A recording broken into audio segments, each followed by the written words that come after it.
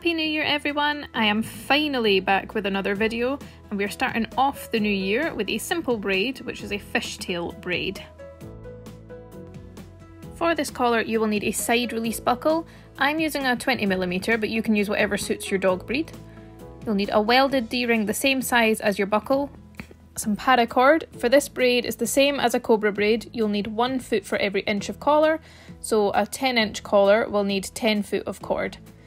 You'll need a ruler for measuring your collar, scissors for trimming the ends, a lighter for sealing the ends, and needle nose pliers.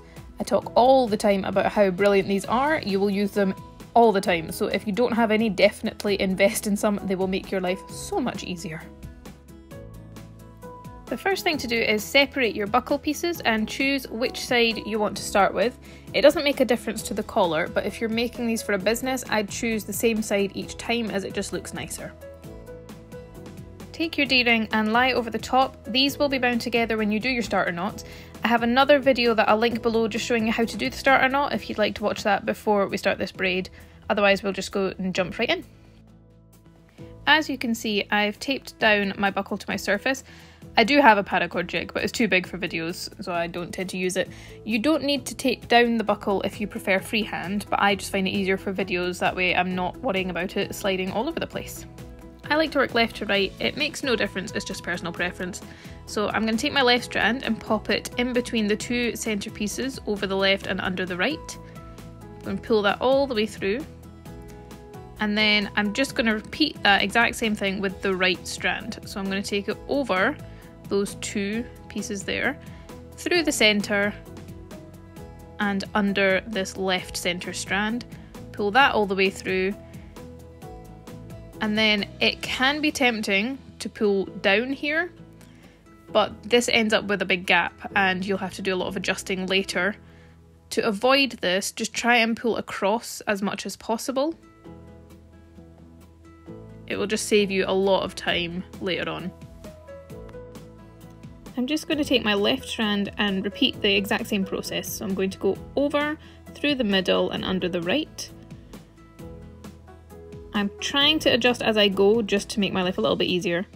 So when I push up here, you can already see the fishtail starting to take effect there.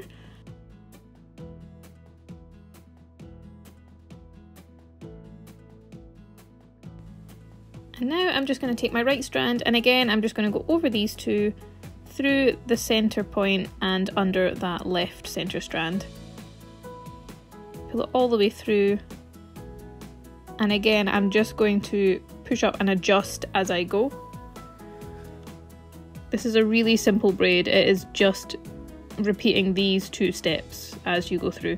It might be a bit finicky at the start, it's not as finicky as I'm making it look, it's just because I'm standing behind a camera, but once you get going you will fly through it. So it's just repeating this process again, so through the middle, underneath, adjust, and then same with the other side, through the middle, underneath, adjust, and you're just going to keep doing that the entire way down. So instead of sitting here for a good half an hour and showing you that, I'm going to just speed through and I'll come back once we are at the end.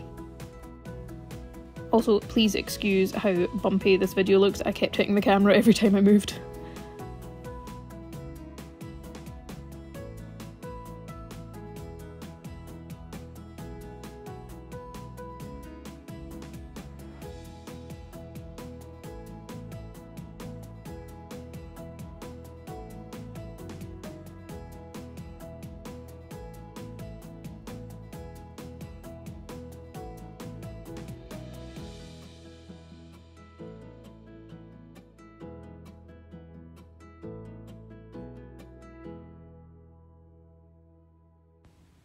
What you might notice with this particular braid is it can get quite uneven.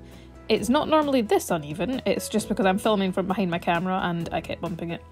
It will even out more as your dog wears it or as you play around with it. But if it really bothers you, then just take your needle nose pliers and just go down and adjust each bit. This also applies if you run out of cord.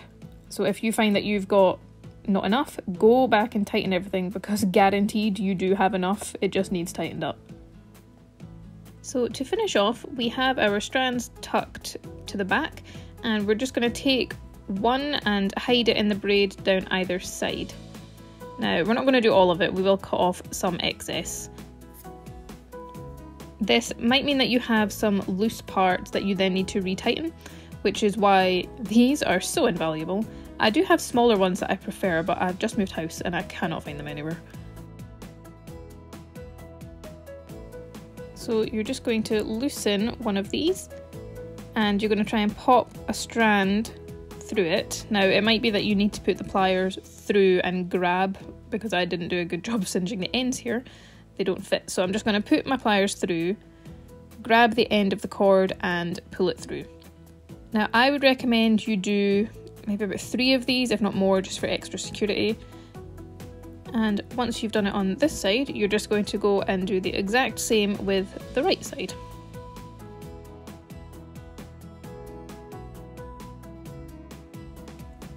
Now that we've finished that, you might notice it does look a bit uneven, so I'm just going to take my pliers and I'm going to go and tighten up all of these little bits just to make it look nicer. And now that I've done that, I am just going to bend this and I'm going to take my scissors. Now again, I can only find my pinking shears. I have no idea what I've done with all my stuff. It just has escaped me. But you're just going to trim off the ends. I'm going to leave a little bit of excess for burning. I'm going to grab your lighter and just be careful with this section because you don't want to burn open the cord just because it doesn't look very nice. So make sure when you do it you're just being careful to burn the ends.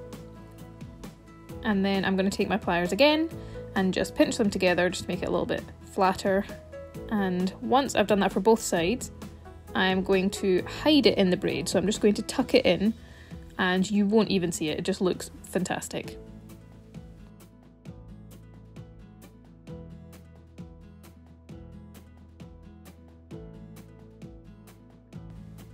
And there we have it, one fishtail braid dog collar. Now you can do this with cat collars as well, I'll put that in the description below. It's the exact same measurements, I would just use a thinner cord. This braid is fantastic because it is not as thick as your cobra braid and it's not as tough. This collar is also really cute, so I will be doing a video on this collar for Valentine's Day, so keep an eye out for that, as that is just the cutest thing ever.